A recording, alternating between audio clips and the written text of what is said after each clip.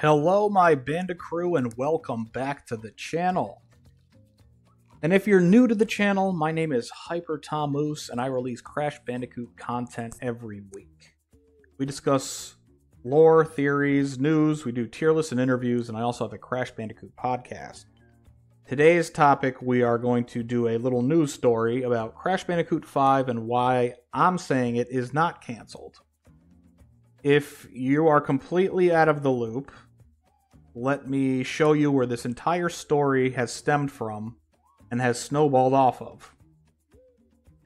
Nicholas Kole is an artist who worked on Crash Bandicoot 4. And he recently made a post on Twitter that says, Well, our canceled project of the last three years is officially truly dead as of today. Internal attempts to save it failed, and the embargo on the whole body of portfolio work has been lifted. Rest in peace, Project Dragon.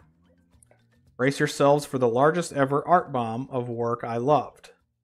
And then Daniel replies, If this is Spyro, I'm going to be the most pissed off man who ever lived. Nicholas replies, It is not Spyro, but someday folks will hear about the Crash 5 that never was, and it's going to break hearts.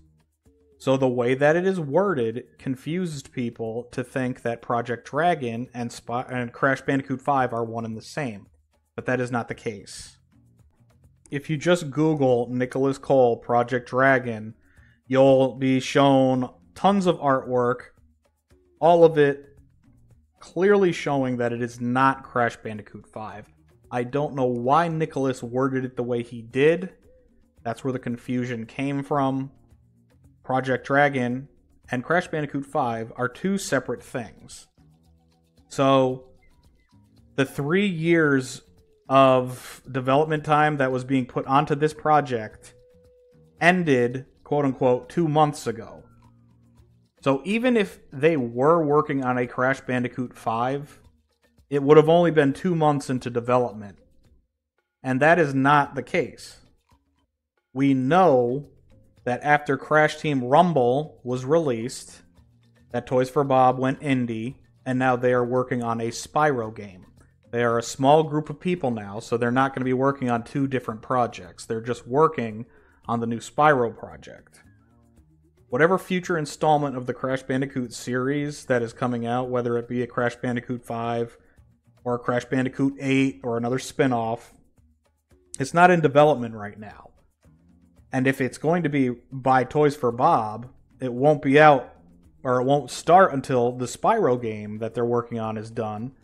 And from what we've been told, the Spyro game won't be coming out until at earliest 2026. And games nowadays take between two to three years to make. So, at the earliest, the absolute earliest, if Toys for Bob is making the next installment in Crash Bandicoot, we shouldn't expect to see it until 2028. So, that's about four years from now at the earliest that we should see a Crash Bandicoot game. So, the project that Nick is talking about, Nicholas is talking about, is not Crash Bandicoot 5. He's just talking about releasing art of what he would have had for a future Crash Bandicoot installment. He said the, the fandom saying Crash Bandicoot 5 is canceled. A version of Crash Bandicoot 5 may not come out. Nicholas Kole's version of Crash Bandicoot 5 that he drew pictures for most likely will not come out, but that doesn't mean that the entire project the future of the Crash Bandicoot franchise is canceled. Crash Bandicoot 5 isn't canceled because Crash Bandicoot 5 isn't even in development. You can't cancel something that isn't out yet. So, hopefully, this video gets circulated because I see a lot of clickbaity stuff. We got a lot of articles popping up online, a lot of videos being like, oh no, Crash Bandicoot is canceled.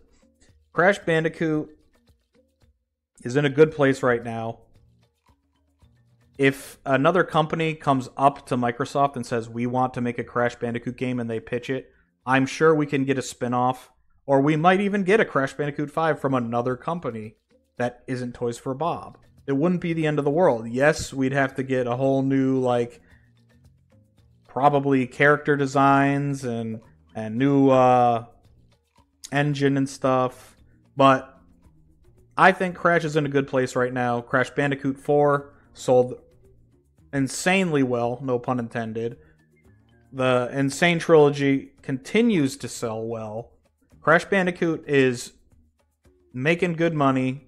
Microsoft knows what they're doing, and we will get a Crash Bandicoot game in the future. I am 99.9% positive. So don't worry, guys. It's not a matter of if, it's a matter of when Crash Bandicoot 5 or Crash Bandicoot future title comes out.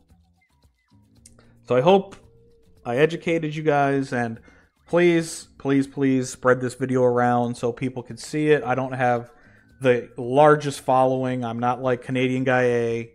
So if you like this video, share it with your friends.